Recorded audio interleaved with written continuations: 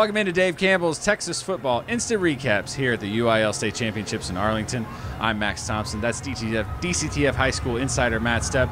And Matt, these plucky upstarts from Aledo, I think they might be going places. Yeah, you know, I mean, I think I think they might have a chance to win a few more state titles uh, to add to their ledger because wow, that was a pretty thorough butt kicking of Fort Bend Marshall uh, on the field. Yeah, 55-19 in the 582 state championship. Uh, Aledo secures their eighth state title. Uh, definite royalty among Texas high school Definite football. royalty, as if they needed any more confirmation. They were already royalty, but they're they're even they're even more now. And I, this Steve Wood guy, you think he could? You think he might be? A, you think he might do some things? Three state. Check this out. Steve Wood has been a head coach at Aledo for five years. He's got three state titles, Not a bad. state semifinal appearance, Oh, is that all? and a state final appearance. Huh. So his worst year was 13 and two, losing in the state semifinals. Talk about setting the bar really high in Aledo, which is already incredibly high. It's a, it's Yeah. an unbelievable run, and, and what a great team. I mean, they. Yeah. Uh, I thought the biggest key in this game, Max, uh, you know, Fort Bend Marshall had a lot of great skill kids, but Aledo up front, Trenches, utter domination on that offensive line. unbelievably strong. And uh, J- Jase Jase McClellan had four first half touchdowns.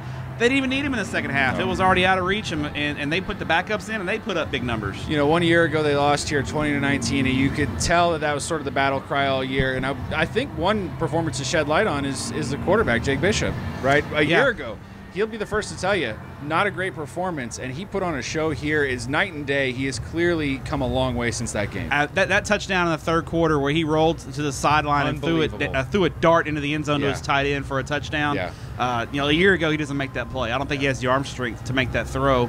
He's obviously worked. He's gotten bigger. He's gotten stronger Yeah. and improved quite a bit. He made some great runs too. When when they when the defense collapsed on McClellan, uh, uh, Bishop hurt him with the, with his legs as well. So Yeah.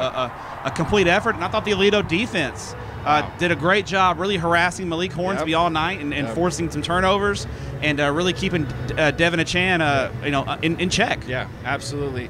Uh, have to, you know, congratulate Fort Bend Marshall for making it this far. The adversity they've faced the last few weeks, unbelievable. And just to get here for the first time in program history, period. Yeah. Right? A really, really tremendous accomplishment.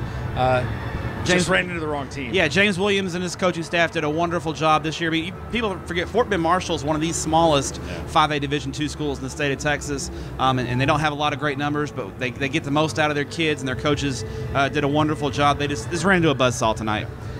Bad news for the rest of 5A Division 2. A lot of these guys for Aledo are back next year. especially the skill spots. Uh, Jase McClellan, who seems like he's been there forever, has got one more Yeah. year. Bishop's got another year, and they got some young guys in the pipeline. Uh, Hampton Fay, uh, JoJo Earl at receiver. They've got some young guys on the defense who stepped up, like Demarco Roberts and some young defensive linemen they rotated in. So um, I'm going to go out on a limb and say Aledo's probably going to be a top 10 team again next year in 5A Yeah, Division I 2. think so.